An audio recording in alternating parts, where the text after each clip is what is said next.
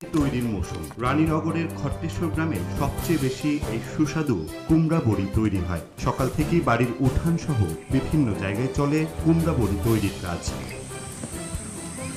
খটেশ্বর গ্রামে ঢুকতেই চোখে পড়বে চাটায়ের উপরে শুকানো হচ্ছে সাদা রঙের মাসকালায়ের এসব বড়ি। এই গ্রামের পঁচিশ ত্রিশটি পরিবারের মানুষ পৈতৃকভাবেই তৈরি করে আসছে এই বড়ি।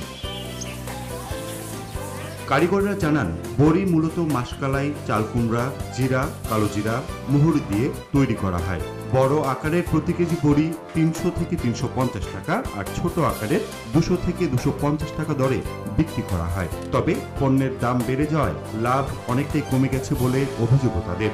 এটা আমরা করি মনে করেন যে আমরা কিছু লোন টোন নিই কিন্তু সরকার থেকে তেমন সহযোগিতা আমরা পাই না। এতে দিতে হয় কুমুর কালাই জিরা মোহরি জিরা দারচিনি ছোট এলাচ দিলেও ভালো হয় আরও টেস্টফুলটা আর শুকাতে ধরেন তিন দিন সময় লাগে।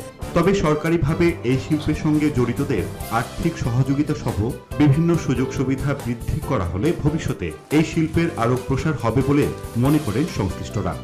তো আমরা উপজেলা প্রশাসনের পক্ষ থেকে তাদের যদি সার্বিক কোনো সহযোগিতা দরকার হয় আর্থিকভাবে অথবা ট্রেনিং প্রশিক্ষণ হতে পারে অথবা আহ, তারা যদি লোন নিতে চায় সেক্ষেত্রে আমাদের যে সরকারি যে প্রতিষ্ঠানগুলি আছে, তাদের মাধ্যমে আমরা সেই সহযোগিতা দেব।